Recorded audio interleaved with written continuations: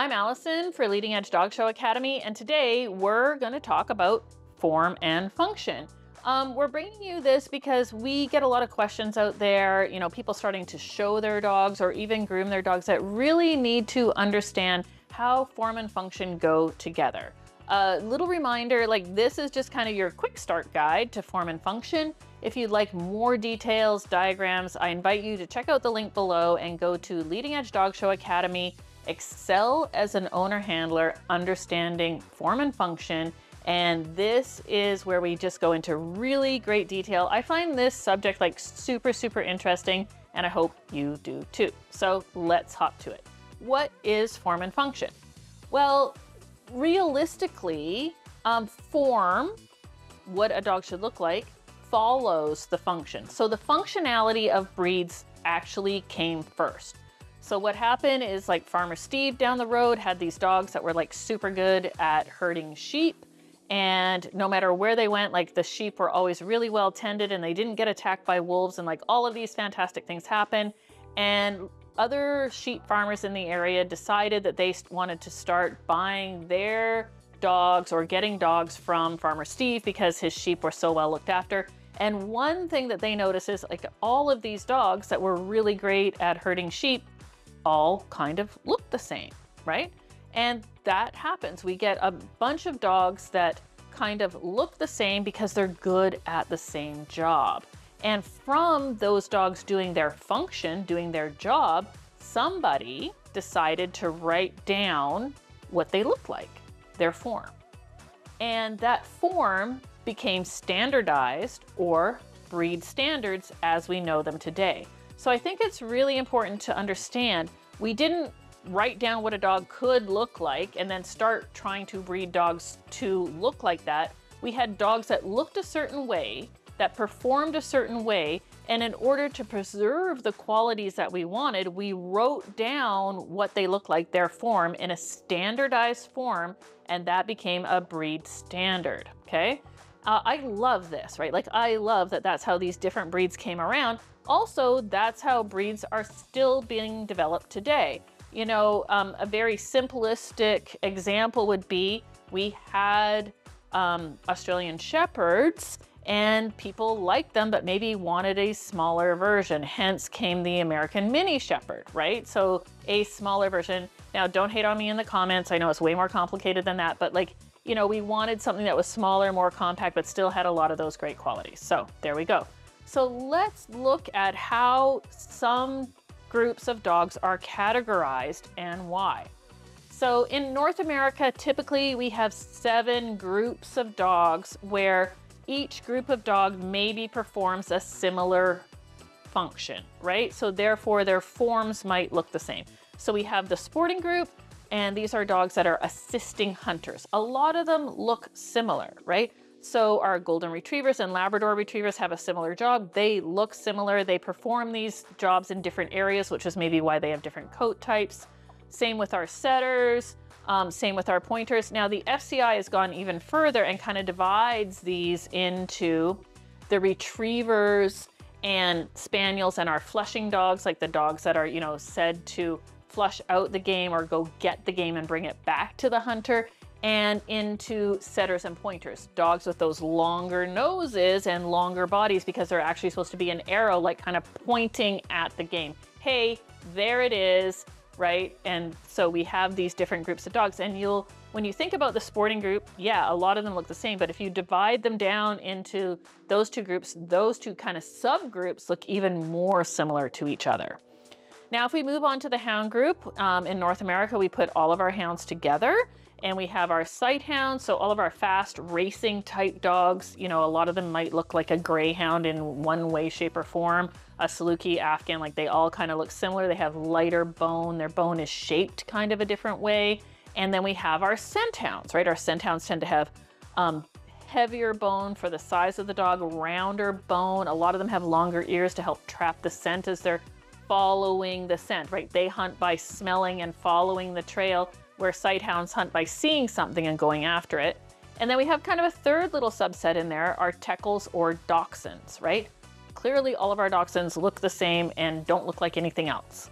So those dachshunds kind of like, you know, go after or hunt vermin that are in the ground, right? They get in there. So, you know, as much as we've put all of our hounds together, um, the FCI has even like taken them down into smaller groups that definitely have similar form, right? We'll all agree that our sighthound form as a group is much different than our Teckel form as a group. They have very different functions as well. So that's why they're categorized that way. We have our working dogs, which are typically our dogs that are um, out there to help us, you know, be those guard dogs type group. And, you know, a lot of these dogs have like cropped or pointy ears, um, and they just are often a squarish, more type dog. Even the Mastiff types um, have that that bigger bone, but they all had this function of guarding, looking after things, kind of being big and impressive. And we can see that that form would help them in their function of being the protector. Um, we have our our terriers, right? So a lot of our terriers look the same. Yes, we have long-legged terriers and short-legged terriers, but they needed to have that really harsh, dense, wiry outer coat to go after vermin and have that coat protect them from the vermin. So they had this function that they had to do, and it was really, really important that they have that similar coat type. They needed that coat, like that was part of the functionality of the breed. And so we wrote that down when we looked at all the dogs, and that is standardized when it comes to those terriers. Um, now we've grouped together our small dogs that are our companions, right? So we have our companion dogs that are really just there to keep us company, do little jobs with us, um, and our toy dogs that are diminutive in size, and we are kind of the caretakers of those breeds.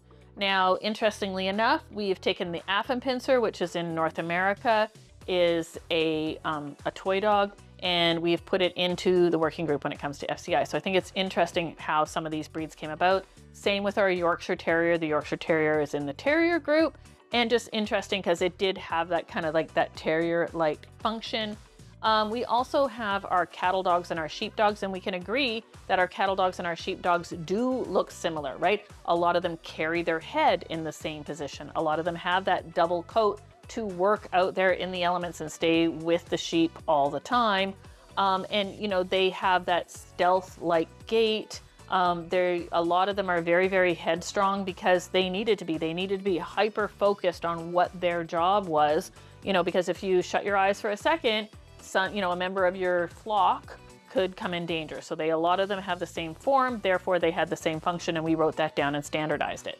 The FCI has another interesting group, which I kind of also really like. It's the Spitz or primitive group. So these are our Spitz-like looking breeds, because a lot of these groups you'll begin to see, like we do have a Spitz type, you think of a Samoyed and like a Finnish Spitz, um, a Shiba Inu, like they can be in different groups and kind of like kind of stand out as something that looks a little bit different in the working group in North America or in the non-sporting group or wherever they might be in North America. But when you put all of those Spitz together in a spitz or primitive type group, they do all look the same. You know, they have pointy faces, pointy ears. A lot of them have that tail curled up over their back.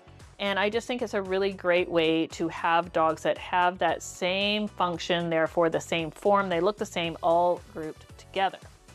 So to me, this is a very interesting topic.